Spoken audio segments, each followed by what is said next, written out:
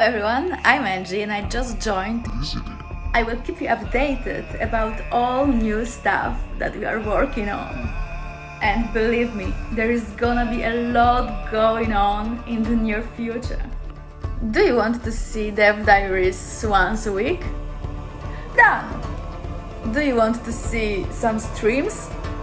I will stream until my PC burns. I have some goods for you to kick it off properly. So, guess what kind of game we are working on now? I have 10 Daymare 98 console keys for you for the best or the funniest answer.